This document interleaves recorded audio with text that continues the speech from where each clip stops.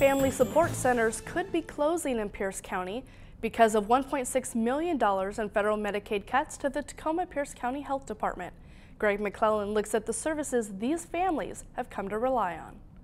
Showing love and affection to her son, Xavier, didn't come naturally to Cameron Ramirez.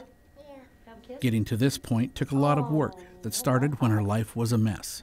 It was becoming pregnant 34 years old after 20 years of using drugs. And four kids that I had failed with. I wasn't about to do that again.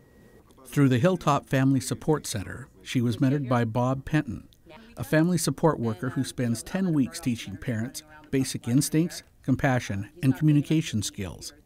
He says many of these parents have trouble with housing, substance abuse, or domestic violence. You know, so without this program, there would be no one there walking alongside with that particular mom, that family.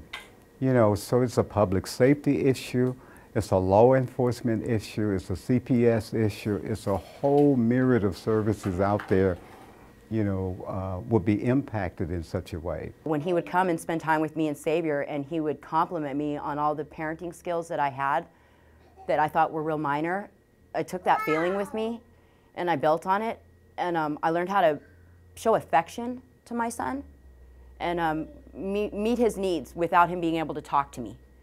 12 family support centers in Pierce County help 38,000 people. 50% of the program's budget comes from the federal government through the Tacoma Pierce County Health Department.